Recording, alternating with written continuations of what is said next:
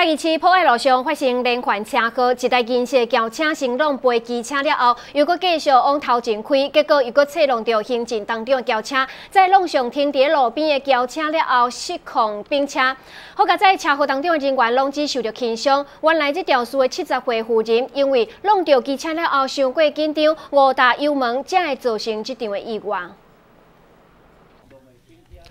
突如其来，银色轿车为后面甲机车撞落，女技师当场飞出去，伫涂骹连几啊连，只看到银色轿车继续冲，先撞上行进当中的小轿车，又搁往正边撞上路边的看板，还搁有车辆了后，并且伫路面上，这连环车祸当中，上身被撞到的女技师好佳在，还搁会当爬起来，应该无啥要紧。毋过现场实在是真凄惨，行进当中被撞轿车后车厢被弄烂，停伫路边的车辆被波及。车尾万把也被弄破。电动玩具遐去骑着啊，倒摆，啊了就，阮看到的是已经弄到即台，搁并起来。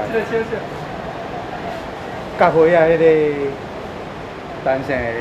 你讲伫头前头百外公尺啊就弄着啊？对对对，骑着啊，倒摆，这是我听到的。哦，啊过来我看到的是弄着即台了，伊后壁并起来，并起来，啊，再搁。至少五台车无辜受到牵连。原来肇事的驾驶是一名七十岁单身妇人，疑似是因为车速过紧，弄上机车了后，因为紧张，甲挡啊打成油门，即正一连串又搁擦撞到其他车辆。救护车到达的时阵，肇事的妇人已经自行爬出车外，身躯顶只有轻伤，但是因为把手惊吓，被送医救治。最新新闻，就来新嘉义市采访报道。